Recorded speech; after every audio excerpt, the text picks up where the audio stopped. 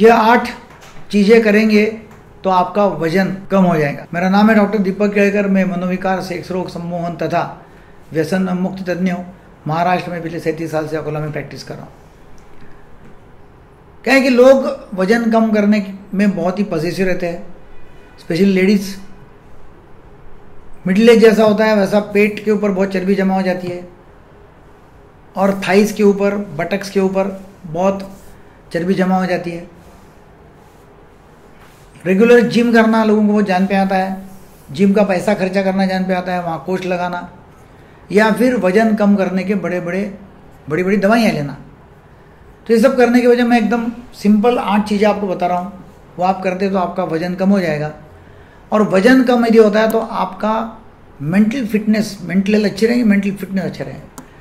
कि वज़न जिनका कम है वो बहुत ही एक्टिव रहते हैं एनर्जेटिक रहते हैं। हलचल बहुत उनकी स्विफ्ट हो जाती है। उनका एक अपने एक सेल्फ एस्टीम जो होती है उसके बारे में उनको अच्छा लगता है कि अपना वज़न कम है, दिखने में अच्छे दिखते हैं वो और फिर उससे मेंटल हेल्थ अच्छी रहती है मेंटल फिटनेस अच्छा रहता है। तो आइए देखते हैं नंबर एक, आपका सुबह का नाश्ता जो है, उसमें ज़्यादा से ज़्यादा प्रोटीन होना ज़रूरी है। प्रोटीन युक्त नाश्ता। जितना ज़्यादा प्रोटीन आप खाएँगे, और प्रोटीन किसमें ज़्यादा है? पनीर में। नॉन वेज के लिए एग्स अंडा फ़िश और प्रोटीन आप दालियाँ मतलब तुअर दाल है, मूंग दाल है, इसमें ज़्यादा प्रोटीन है। तो जितने ज़्यादा आप प्रोटीन खाएँगे और जितना ज़्यादा सलाद खाएँगे सुबह के नाश्ते में, उतना ज़्यादा अच्छा है। उससे क्या होता है, भूख मरने में मदद हो जाती है। आपका पेट फूल जाता है और बहुत ज़्यादा फिर भूख लगती नहीं है बाद में। नंबर दो, कम से कम आधा लीटर पानी सुबह उठते उठते आपने पीना चाहिए। पानी पीने से क्या होता है कि जो कैलोरीज है वो बर्न होने में ज़्यादा मदद होती है। पानी से एसिडिटी भी कम हो जाती है, भूख फिर कम लगती है, और जो खाया हुआ है पचन करने में बहुत अच्छा लगता है, और पानी ज़्यादा पियेंगे सुबह सुबह तो क्या होता है कि जो चीज़ नहीं होना है वो वॉश आउट हो जाती है टॉक्सिन्स वॉच आउट हो जाते हैं, और उससे आपको बहुत अच्छा लगता है, एक फील गुड का सेंसेशन आता है, उससे आप खाना भी कम खाते हो। नंबर तीन डेली चेक करना वज़न। जो लोग डेली वज़न चेक करते हैं तो उनको डेली फीडबैक मिलता है। ऐसा पाया गया है स्टडीज़ में कि जो लोग छः महीने में एक बार वज़न चेक करते हैं और जो लोग डेली चेक करते हैं तो डेली चेक करने वालों में जल्दी वज़न कम हो जाता है क्योंकि वो डेली उनको फीडबैक मिलते जाता है और वो हिसाब से वो अपना खाना पीना एडजस्ट कर सकते हैं। तो डेली चेकअप करना बहुत ज़रूरी है। नंबर चार, कम से कम 20 मिनट रोज धूप लेना।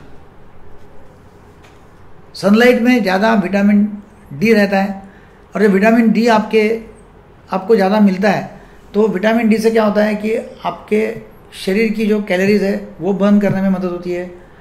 भूख कम लगती है, जो खाया हुआ है अच्छा पचन हो जाता है। क्योंकि विटामिन डी यदि आपको अच्छी मात्रा में मिलता है तो उससे बहुत फ़ायदा होता है। नंबर पाँच मेडिटेशन ध्यान करना। जब आप ध्यान करते हो मेडिटेशन करते हो तो मन को बहुत शांति मिलती है। जब मन अशांत है लक लक लक लक है टेंशन है स्ट्रेस है तो ऐसा पाया गया कि स्ट्रेस और टेंशन में लोग बहुत ज़्यादा खाते हैं। तो आप जितना आप रिलैक्स रहेंगे, उतना खाना खाने की ज़रूरत आपको कम लगेगी। छः दोपहर का खाना जो है, वो पैक करके लेना। मतलब जो लोग दोपहर का खाना पैक करके ले जाते बाहर, वो क्या है कि पहले से प्लानिंग करते हैं।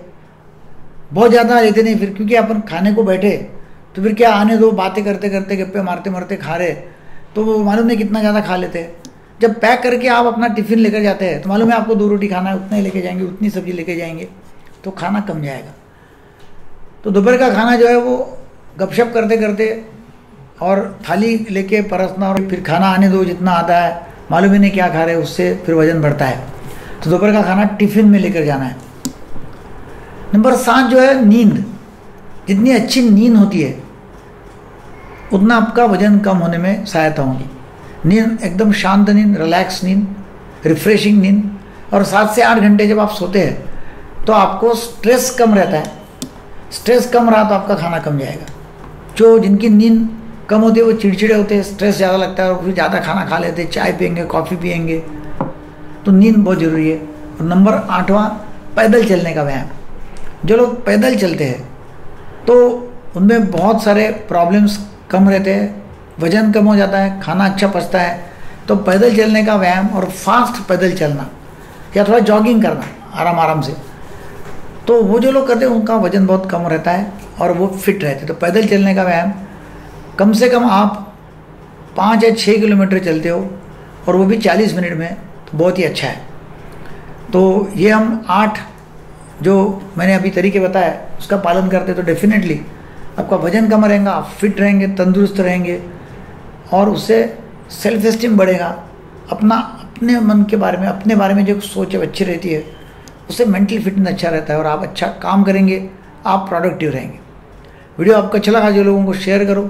Thank you very much sex समस्याओं के बारे में मेरे काफ़ी सारे वीडियोस हैं। उसका हमने एक ऑनलाइन वीडियो रिकॉर्डिंग करके वर्कशॉप एक कोर्स बनाया हुआ है। वो कोर्स जो है ऑनलाइन कोर्स उसमें करीब करीब साठ वीडियोस हैं। और उसमें हिप्नोटिज्म की भी है कि हिप्नोटिज्म के माध्यम से नपुंसकत्व शीघ्र पतन कैसे ठीक करना और काफ़ी सारी सेक्स समस्याओं के बारे में जानकारी दी हुई है। वो समस्याओं की जानकारी से आपकी सभी सेक्स समस्याओं का समाधान हो सकता है।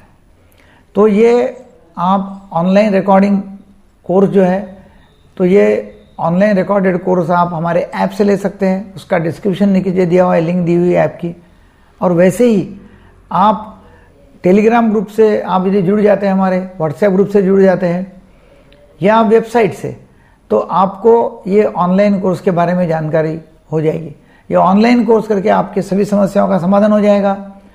आप नीचे जो नंबर दिए, उसके ऊपर भी कॉल करके वो ऑनलाइन कोर्स खरीद सकते हैं। इंस्टा मोजू की भी लिंक दी हुई है, उसमें आप डायरेक्ट पेमेंट कर सकते हैं। Thank you very much